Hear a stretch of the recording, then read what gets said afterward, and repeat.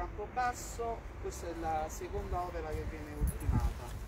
Sono, come potete vedere, dei moduli, non dei container. Ora che li vedrete all'interno troverete una situazione di alta tecnologia con ambienti separati, posti letto separati a pressione negativa. Eh, ogni posto letto è a tutti gli effetti un posto letto di terapia intensiva, quindi dotato di tutta la strumentazione tecnologica necessaria. Eh, la struttura è stata costruita in adiacenza al pronto soccorso ed è collegata con degli appositi percorsi perché può essere utilizzata anche non solo come terapia intensiva ma anche come un'area grigia, quindi come un'estensione eh, del pronto soccorso. In questo piano di intervento sono previsti di ulteriori sei posti letto di terapia intensiva presso eh, l'ospedale di Isernia che verranno consegnati nella settimana prossima. Quindi in totale sono 26 posti letto di terapia intensiva che si aggiungono ai 39 posti letto di terapia intensiva attualmente attivati. Di cui 26 già ASREM e 13 dei privati accreditati, 7 a Neuromed e 6 a Genetica. Nella speranza che non si possano utilizzare, Bravo. non si debbano utilizzare, Bravo. per carità, ma sono utilizzabili al momento? Assolutamente sì, eh, sono già collegati con i cassi medicali, ci sono le attrezzature, ovviamente non, non verranno utilizzati oggi in questa giornata, noi ci auguriamo veramente, lo ripetiamo, di non doverli utilizzare, però era una risposta che era stata già programmata da tempo, per la verità anche in fase 1, eh, si ricorderà il Presidente che avevamo avanzato questa Il realizzazione. 4 novembre 2020. Però abbiamo visto ancora degli operai, degli operai lavorare. Sì, stanno facendo le ultimazioni di- dell'esterno di- de- della struttura, eh, ma anche quando abbiamo fatto la consegna di quelli di Campobasso c'erano delle piccole ultimazioni da realizzare che però ora che entrerete vedrete non interferiscono con l'interno. Volevo chiedere a proposito ecco, della terapia intensiva dei 10 posti, attualmente la situazione eh, dei contagi è nettamente migliorata, pazienti gravi fortunatamente non ce ne sono, quindi questa terapia intensiva potrebbe essere utilizzata anche per pazienti non Covid. Posso precisare una cosa? Prego, prego. Il discorso delle ospedalizzazioni per il Covid è un discorso molto particolare perché in Molise, soprattutto in Molise, la fluttuazione dei numeri è molto rapida, sia in caso di curva discendente sia in caso di curva ascendente. Quindi era importante realizzare queste strutture che ci offrono una, una garanzia. Dopodiché sono strutture che possono essere utilizzate. Ricordate tutti che l'ospedale di Termoli non era previsto, almeno nelle prime fasi, come ospedale da destinare a pazienti Covid. Abbiamo avuto un picco di quarta fase eh, con la necessità di attivare anche qui dei posti Covid e lo abbiamo fatto. L'augurio è quello di non doverli utilizzare, ma sia queste strutture che sia anche quello che poi realizzeremo con l'App Covid Cardarelli Che è strutturale, quella è è strutturale, non strutturale. d'emergenza, cioè strutturale significa che quell'intervento rimarrà, è un potenziamento dell'ospedali- della ospedalità molisana, quei 14 posti eh, di terapia 21 intensiva e 21 di subintensiva, quelli sono strutturali, questi sono di emergenza, potrebbero anche essere mobilitati nel caso in cui non ne avessimo più necessità, ma quelli no, quelli dovranno rimanere. E in quell'intervento è previsto non solo la realizzazione di quei posti letto, ma anche un restyling dei pronto soccorso sia di Campobasso che di Termoli e di Serra. Quindi quando è stato approvato quel piano che ha previsto un impatto così grande non si è pensato solo all'immediatezza del Covid, ma anche a un potenziamento nel futuro delle realtà. Eh, non parlo tanto dell'ospedale di Termoli, ma per esempio per l'ospedale di Sernia abbiamo un pronto soccorso molto datato e quindi questi interventi ci consentiranno di migliorare e di ristrutturare quella situazione. Però diciamo anche, e questo io l'ho già, eh, questa notizia l'ho già data nei giorni scorsi, la ribadisco, che l'ospedale di Termoli è destinatario di un intervento finanziario di 14 milioni e 800 mila euro che servirà per la ristrutturazione globale dell'ospedale. Quale personale per l'utilizzo e fare di questo Allora, eh, la carenza di personale è un problema che noi abbiamo e che conosciamo bene. Non è tanto la capacità di realizzare nuovi posti letto, ma piuttosto è quella di ottimizzare l'utilizzo delle risorse. Non a caso queste strutture sono costruite in adiacenza alle strutture ospedaliere, proprio perché nell'ambito di una razionalizzazione del personale è più facile, sempre con tanto sacrificio da parte degli operatori, riuscire a garantire l'assistenza su ulteriori posti letto. Tanto per farle un esempio, a Campobasso avevamo due posti letto di terapia eh, subintensiva, li abbiamo portati a 80 posti letto. Il personale che avevamo era sempre lo stesso, come abbiamo proceduto? Abbiamo fatto degli accorpamenti, quindi abbiamo dovuto accorpare dei reparti e utilizzare il personale per prestare attenzione a, a malati Covid. Nel frattempo stiamo procedendo con le procedure concorsuali, stiamo assumendo dall'avviso pubblico che abbiamo fatto a tempo determinato sia per gli infermieri professionali che per gli OS, abbiamo bandito mh, numerose procedure concorsuali anche per il personale medico, abbiamo avuto l'apporto dei medici dal Venezuela, l'apporto dal bando della protezione civile attivato dalla regione, insomma è una battaglia che stiamo compiendo su tutti i fronti, c'è quello delle attrezzature, c'è quello del personale. Eh, oggi è un passo sulle attrezzature. Una domanda alla subcommissaria, lei ha esperienza nel settore, è appassionata al settore che per poter lavorare bene. Se ne è accorta o crede ancora che sia praticamente una regione assolutamente non unibile sotto questo aspetto? Non? Non unibile, non può essere.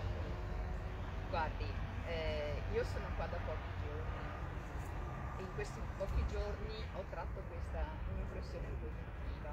Ho, ho avuto la possibilità in questi pochi giorni di scoprire un territorio generoso di bellezze, di persone gentili e di grande disponibilità.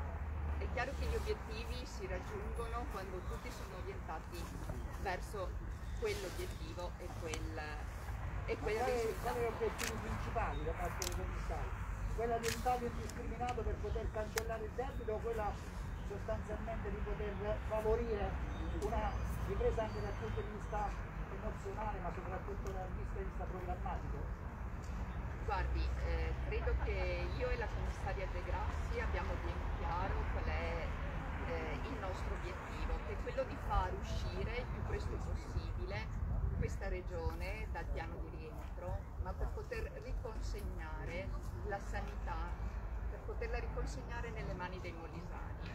È con questo spirito che vogliamo eh, lavorare e portare i risultati in questa regione. Quindi chiederete chiaro. sacrifici su altri sacrifici? No, abbiamo detto che l'impegno è quello di far uscire. Per far uscire non vuol dire necessariamente sacrifici, ma lavorare per ottenere questi risultati. C'è la possibilità Siamo di cancellazione siamo con- debito? Siamo consapevoli che è un lavoro molto impegnativo. Adesso siamo qui da pochi giorni, stiamo analizzando i dati ed è francamente troppo presto per trarre delle conclusioni.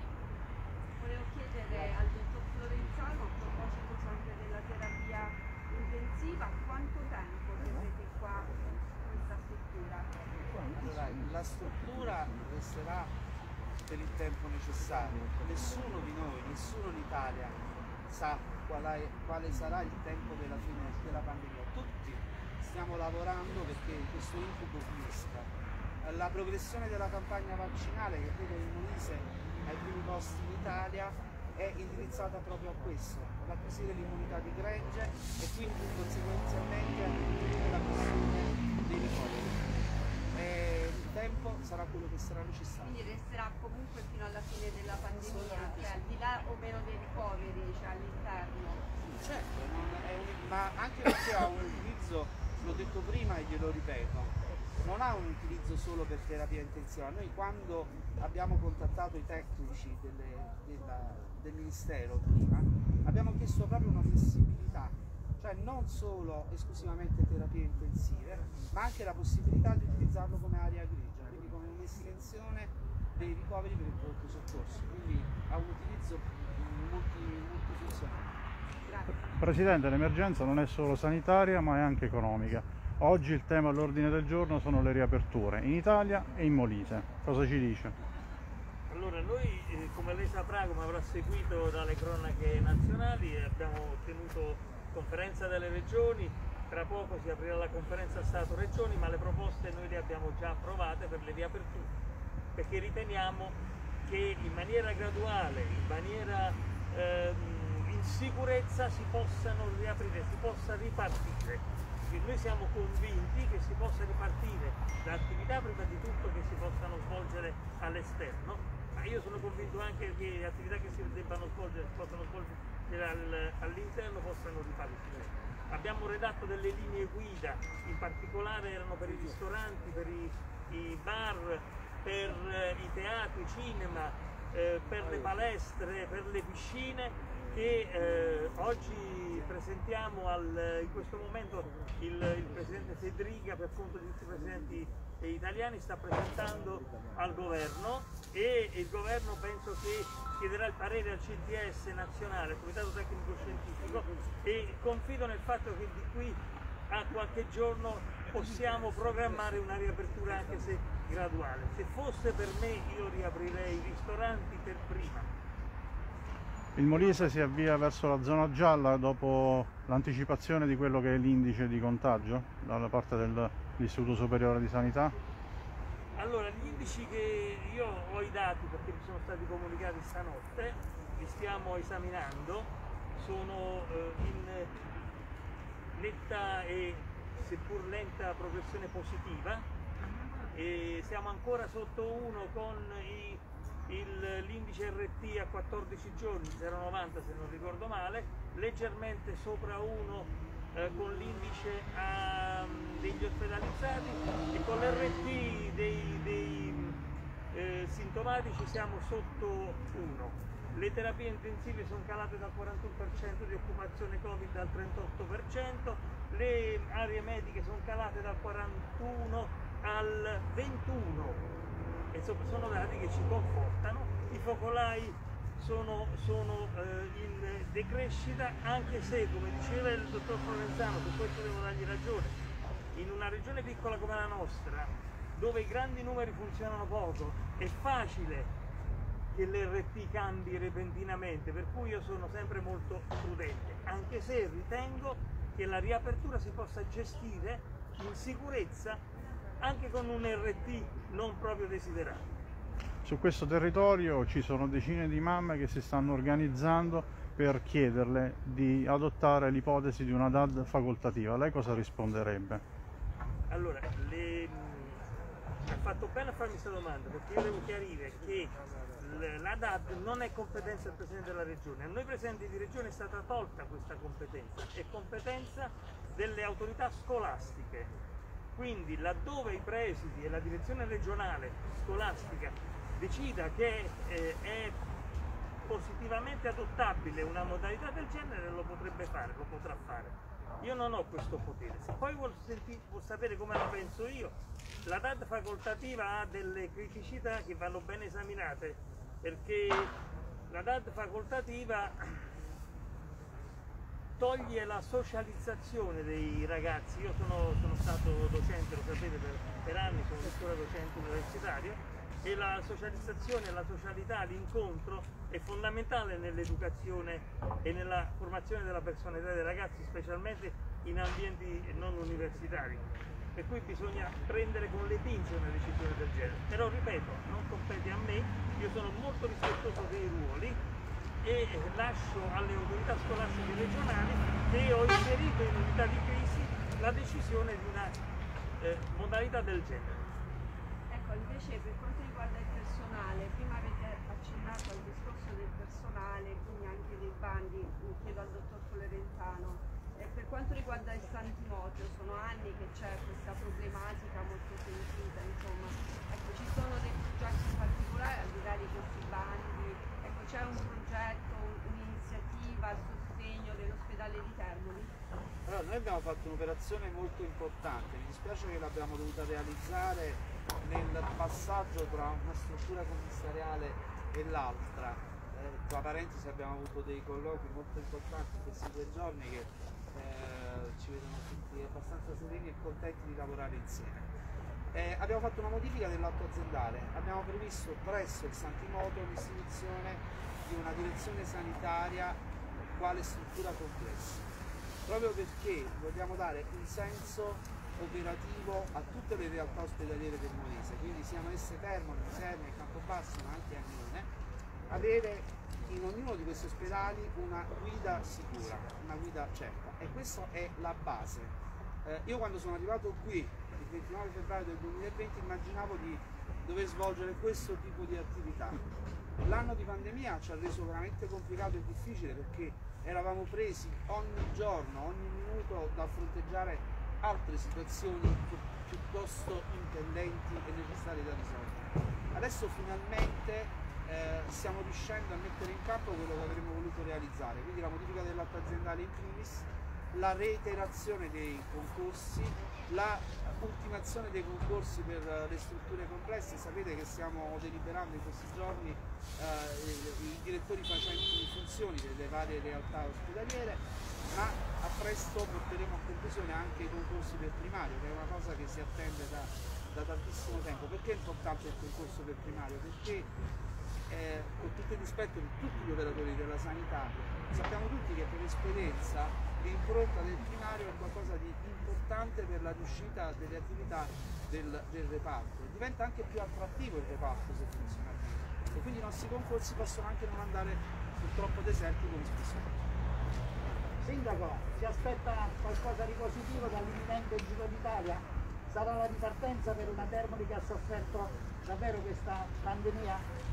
Speriamo che sia il preludio per tornare ad essere una città che quando arriva questo bel sole vuol dire che in qualche maniera annuncia l'estate e quindi per noi che siamo un porto turistico teniamo le dita incrociate che tutto ciò possa avvenire al più breve e soprattutto tornare a fare una vita serena, a condurre una vita serena tutti quanti, alle attività commerciali di riavviare le loro, le loro economie e soprattutto tutti quanti quelli che vorranno venire a Termoli a godersi in mano in piena tranquillità.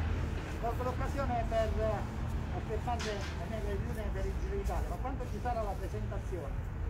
Il Giro d'Italia da un punto di vista ufficiale già è stata fatta la presentazione da parte RCS, però noi dovremmo tener conto che verso la fine di aprile vogliamo fare un pre-evento per annunciare questa, diciamo, questo Giro d'Italia e soprattutto per ringraziare la Regione Molise che contribuirà insieme a Termoli allo svolgimento del Giro d'Italia che non sarà soltanto Termoli ma quest'anno il Molise avrà eh, la possibilità di essere eh, vista a livello nazionale e internazionale attraverso la televisione perché ci saranno più passaggi sul nostro territorio. Possiamo dirlo, quindi Termoli, poi da Foggia torna in Molise facendo tutto il portone, scollina in quel di Guardiareggia e poi va verso la campagna. Grazie Sindaco. Sindaco, tornando alle questioni invece di carattere sanitario, di queste ore la notizia di, della inaugurazione che ci sarà lunedì, l'apertura del, dell'atteso Sì, Palairino trasformato in punto vaccinale ed è di ieri anche la delibera dell'ASREM che accelera l'avvio dei tamponi in modalità drive-thru qui nel piazzale esterno del San Timoteo. Tenete conto che quando siamo stati in una situazione eh, emergenziale dovuta alla variante inglese era più o meno la metà di febbraio. A distanza di un mese, così come era arrivata la notifica preliminare dal Ministero che ci avrebbero consegnato i moduli entro 30 giorni eh, e 10 giorni a partire dall'inizio dei lavori, quindi sono nel pieno rispetto della, della tempistica, siamo riusciti ad ottenere questi moduli di rianimazione, siamo riusciti ad ottenere e a far installare il drive thru perché abbiamo visto che c'erano delle criticità e soprattutto da lunedì con l'auspicio che possano arrivare al più presto i vaccini iniziare a fare una vera eh, vaccinazione di massa e soprattutto evitare che molti del basso Molise siano costretti ad arrivare nell'alto Molise per, per la vaccinazione. Grazie. Ale, un Volevo di aggiungere una cosa su quello, se posso permettere, su quello che ha detto il sindaco. Eh, noi stiamo realizzando con tutte le realtà del territorio delle riunioni molto importanti. Abbiamo la collaborazione della stragrande maggioranza dei sindaci per l'effettuazione dei tamponi, per tutte le necessità. Io stesso mi sento col sindaco Roberti più volte al giorno anche per cose che possono apparire banali come un frigo da allestire per un punto vaccinale quindi sono veramente contento che oltre a questa notizia, a questa realtà dei moduli possiamo anche dirvi che ci sarà sia l'attivazione del palairino che del drive-thru che avete visto quando siete arrivati in ospedale.